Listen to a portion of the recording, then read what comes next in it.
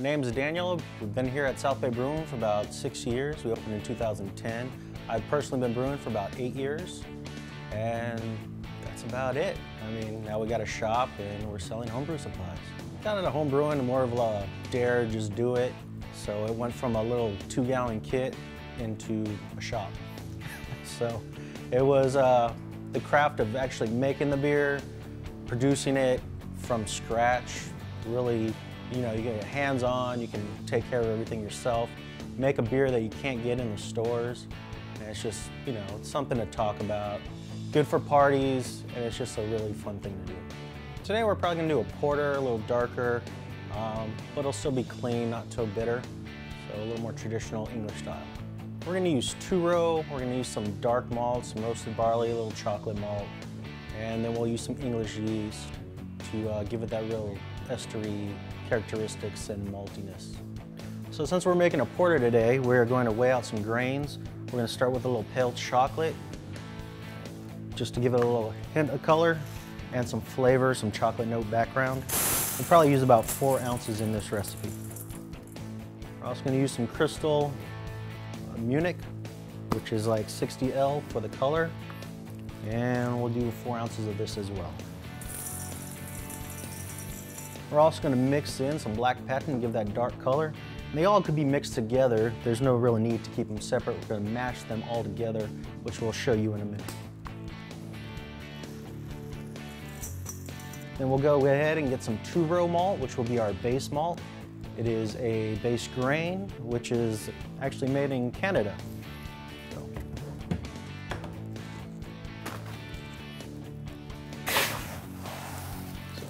It's just a really basic grain. There's no color. It's not been crystallized or roasted.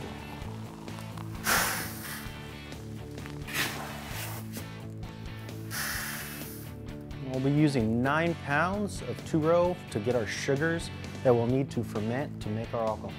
All right, we're gonna mill those grains. So we have all those whole grains. Now we gotta crush them open. So we basically crack the outside open so we can get, extract those sugars that are in that grain that we really are looking for.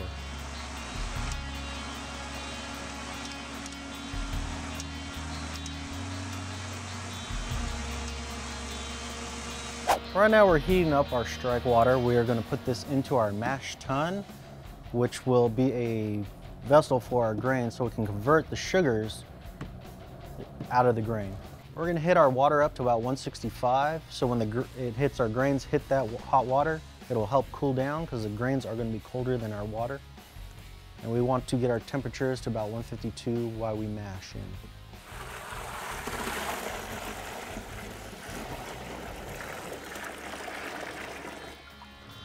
So our water now is in the mash tun and we will be adding our grains on top of that water.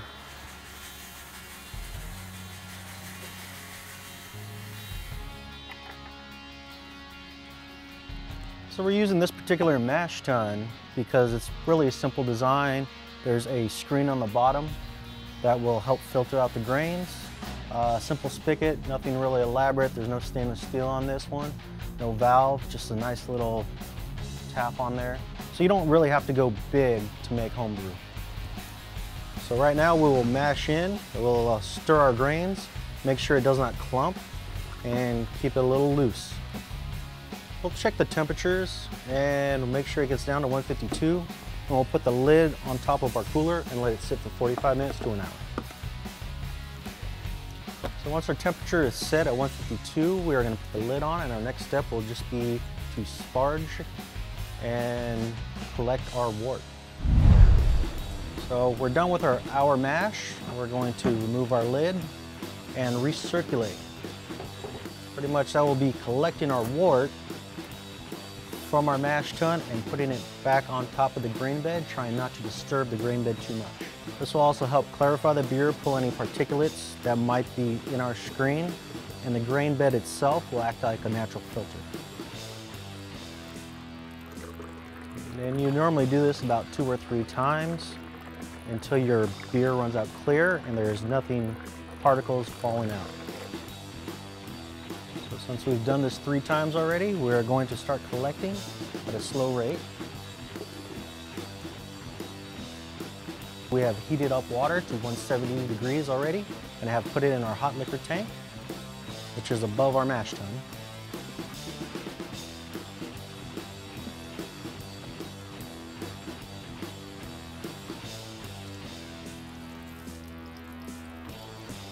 We'll be trying to add the water, the sparge water, at the same rate that we are collecting our wort.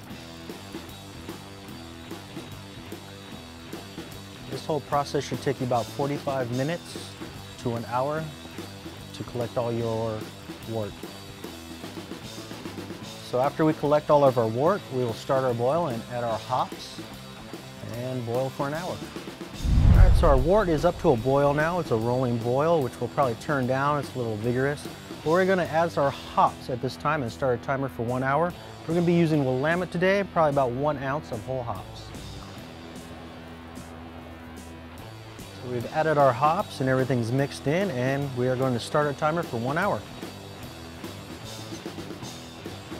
All right, so we've been boiling for about 45 minutes now. We're gonna add a wort chiller into our wort. It'll help sanitize it. And we'll use this to cool down our beer. Basically, we'll be using garden hose water, just tap water, and I'll be forcing through the coils, and it's kind of like a radiator. It'll take the heat out of the wort, and it'll come out with hot water. These uh, wort chillers here we have in our store, and you can come by and pick one up. You can make one yourself if you really wanted to uh, roll the copper, or you can buy them online. Right now we're going to transfer our beer into our carboy, which has been sanitized with Star San. It's a little foamy, but don't fear the foam. Star San has a tendency to foam up on you. It's just the nature of the Star San. Here.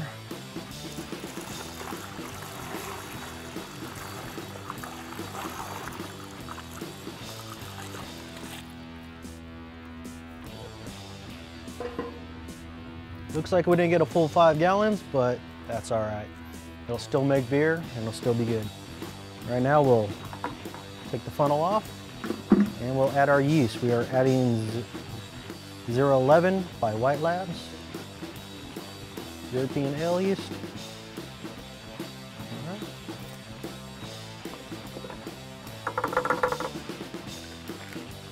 Put our airlock and bung on. Give it a shake to help aerate it. And we'll let this go for two weeks. Um, this one I didn't really bother the filter. I left a lot of the hops inside the brew pot. Uh, what got in there will just sit there until I put it into a secondary and all of it will be left behind in the primary fermentation. Um, next phase is to let this sit for two weeks and then we'll let it condition in the carboy and then we'll bottle it. So after it's done fermenting, you can either keg your beer or bottle it and then drink it. Actually pretty good. Now, if you're brewing and you put bleach instead of water by accident, yeah, you'll die.